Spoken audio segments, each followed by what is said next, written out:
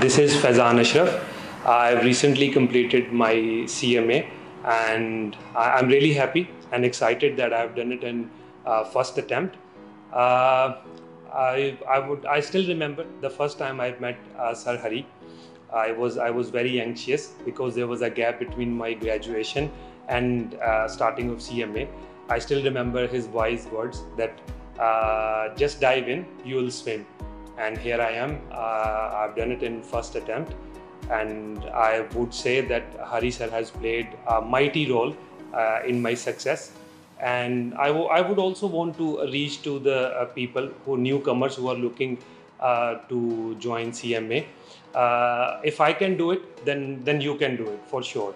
All you need is a, a discipline at your end and Hari classes. He, he, he he's a mentor.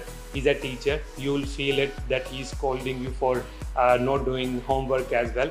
But but he'll lead you. He, he'll lead you towards your success. All you need is little bit of commitment.